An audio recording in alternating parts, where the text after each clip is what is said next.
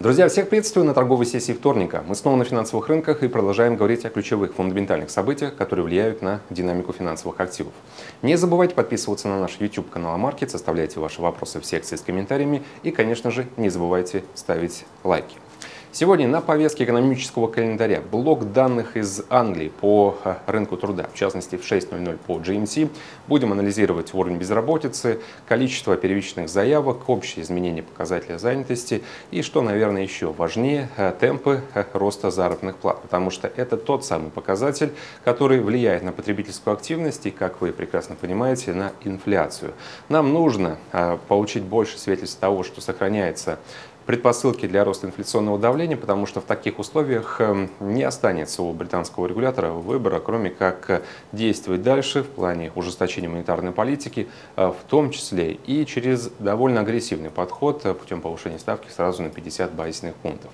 Также сегодня в 20.30 нас ждет отчет от Американского института нефти по запасам нефти США. Еще на прошлой неделе мы пришли к выводу, что э, в предстоящие недели нас, скорее всего, будет ожидать позитивный позитивная статистика по запасам, их снижение, потому что администрация Байдена, Белого дома, активно распродает стратегические резервы. Свидетельств подтверждений этому довольно-таки много. И, соответственно, снижение запасов – это традиционный фактор поддержки для котировок нефти. Если мы сейчас посмотрим на бренд, убедимся в том, что э, текущие восходящие динамики пока что ничего не угрожает, потому что бренд стабилен, плане развития роста 91 доллар за баррель. И, судя по всему, это еще точно не предел в рамках этой недели. Я рекомендую смотреть на значение 95 долларов за баррель и потенциально даже выше. Ранее мы разбирали именно, что же стало источником такого интереса к рынку черного золота. Пришли к выводу, что это действие стран ОПЕК по дополнительному сокращению производства нефти. Есть локальные такие форс-мажорные факторы. Это штормы, наводнения в Ливии. Уже закрыто несколько крупных э, Э, портов, э, через которые осуществлялся экспорт э, нефти.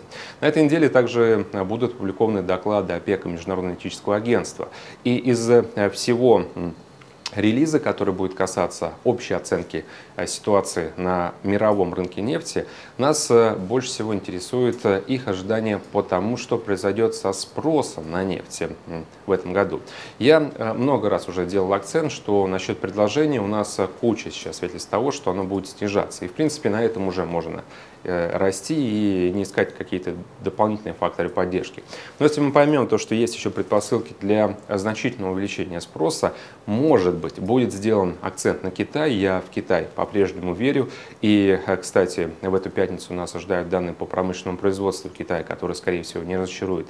То тогда действительно на стороне покупателей будет еще и э, фактор более высокого спроса, что в совокупности с снижающимся предложением вернет нас к теме обсуждения дефицита и э, может стать достаточным основанием для того, чтобы реализовался тот план движения э, по нефти, который я собственно, обозначил. Индекс доллара 104.50, коррекция продолжается второй день подряд, но при этом хочу признать, что сейчас, скорее всего, это следствие технических факторов, потому что рынок особо ничего не отыгрывает сейчас. Все ждут данные по инфляции, никто не хочет торопиться, принимать какие-то неоправданные решения сейчас, потому что отчет по инфляции имеет принципиальнейшее значение для всего рынка. От этого релиза будут зависеть будущие действия американского регулятора и, в принципе, то, что произойдет с долларом. Нам нужно сейчас сосредоточиться тоже на этих данных. Ранее было много предпосылок предварительных, указывающих на то, что базовая инфляция, скорее всего, может снова либо остаться на прежнем высоком уровне, либо продемонстрировать э, признаки роста, даже символичного, незначительного на 0,1%. Этого будет достаточно, чтобы убедить, э, точнее снижение инфляции, чтобы убедить американский регулятор, что э, тренд на ослабление инфляционного давления сохраняется, и в таких условиях лучше, собственно, ничего не делать, не повышать ставку. Вероятность э, повышения ставки а, по данным инструментов Fed Watch Tool не меняется. Я сейчас не буду делать на этот акцент. Лучше посмотрим на эту статистику завтра, после того, как выйдут э, данные э, по инфляции. Ну, в четверг уже обсудим на, на брифинге.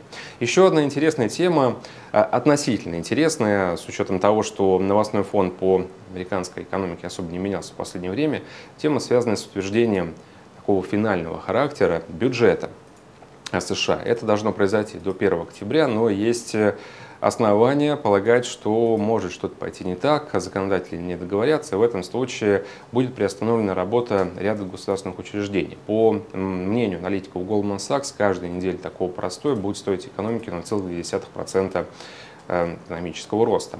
До такого сценария, конечно же, дело не дойдет, но будет э, крайне интересно сейчас понаблюдать за тем, как эм, демократы и республиканцы будут пытаться найти общий язык, чтобы вот прийти к компромиссу по этому вопросу. Но все-таки наш основной прицел – это данные по инфляции. Ждем, собственно, этот отчет, который выйдет завтра. Золото 1923 доллара за тройскую унцию. Пока что рыночный сентимент не подает нам качественного сигнала, чтобы можно было бы э, этот инструмент купить. Но есть и факторы поддержки для рынка драгоценных металлов. Это снижение доходности американских э, трежерей с десятилетней бумаги. Сейчас э, торгуются по ставке 4,28 э, процент. Это ниже, чем было в конце прошлой недели. Доллар в целом остается под давлением. Последний отчет Американской комиссии по торговле товарными фьючерсами. Может быть, когда есть три как бы из четырех э, оснований для принятия решения. Этого должно быть достаточно, чтобы сейчас рисковать и открывать длинные позиции. Э, в целом я, наверное, даже поддерживаю тех, кто сейчас рискует и заходит э, в лонги. Но я буду все-таки ждать более четкого сигнала от рыночного сантимента. Когда пойму, что толпа снова находится в продажах, то, соответственно, открою длинную позицию. Смотрите за сантиментом, друзья. Он сейчас меняется очень быстро, поэтому даже между брифингами может быть хороший сигнал, чтобы не упускать возможности и действовать, когда вы увидите, что толпа развернулась. Доллар канадец 1.3580, наше ожидание снижения в районе отметки 1.35. Пока что на стороне канадского доллара статистика, помним, пятничный отчет по рынку труда, рост количества новых рабочих мест плюс 40 тысяч, прогноз 15 тысяч сильно коррелирует, расходятся точнее данные показатели. Э, важно отметить, что выросли средние заработные платы плюс 5,2% с 5,1%. Э, Это опять же, усиливает наши ожидания относительно того, что будут расти потребительские расходы и инфляция. Поэтому э, такая статистика может оказать давление на Банк Канады, который после двух месяцев простоя, скажем так, решит все-таки вернуться к траектории повышения процентной ставки.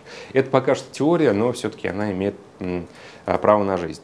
Но главные факторы поддержки – это, конечно же, рынок нефти, который эм, традиционно стимулирует спрос на канадский доллар, потому что нефть это один из основных экспортных э, ресурсов Канады.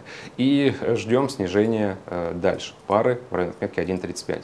Фунт против доллара 1.2511. Сегодня, как я уже отметил в начале, из всего многообразия отчетов по рынку труда нас интересует динамика роста заработных плат. Если увидим э, прежние почти около рекордные показатели на уровне 8,2% по росту заработных плат в годовом выражении, то фунт может получить дополнительную поддержку и завершить торговую сессию поближе уровню 1.26. Доллар иена 146.65. Укрепление иены, которое мы наблюдали с открытия этой недели, следствие комментариев э, главы Банка Японии УЭДы о том, что к концу этого года на рынке могут сложиться достаточные основания, чтобы японский регулятор отказался от отрицательных процентных э, ставок. Но похожие заявления были уже э, без какой-либо конкретики. Я не думаю, что на них сейчас стоит прямо всецело полагаться и настраиваться на то, что Банк Японии действительно начнет ужесточать монетарную политику. Э, это, в принципе, то, что не нужно торопиться. Об этом говорят и котировки, потому что low вчерашнего дня был 145.89, а сейчас пара восстановилась почти уже на фигуру. И цены 146.65. До выхода данных по инфляции что-либо предпринимать по этой валютной паре по-прежнему не рекомендую.